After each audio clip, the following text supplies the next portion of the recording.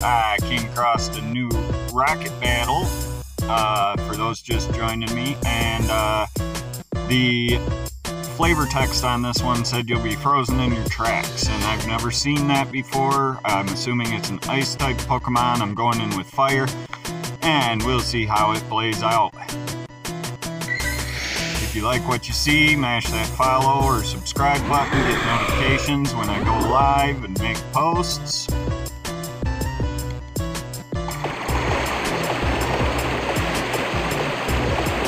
Super effective, but I'm very slow. Oh no. Block. Body slam? I probably could have survived that. Oh well.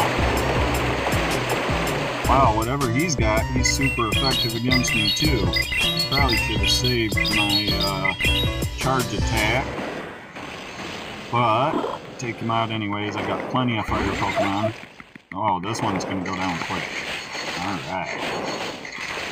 And that just leaves the last one. I'll use my Sacred Fire immediately. Oh, it's a Lapras. They're water type. This isn't going to be effective. Boom. Switching to Typhlosion. He's got a quicker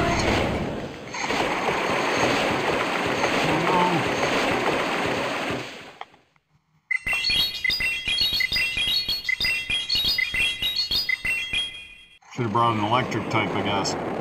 Oh well, I win.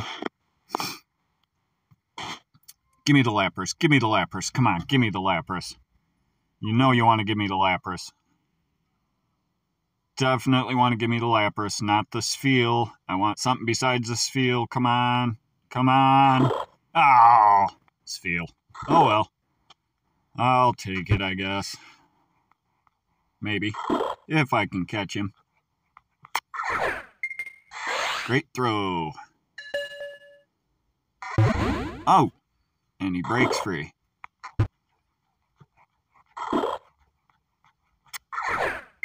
Another great throw. Get him, get him, get him, get him, get him.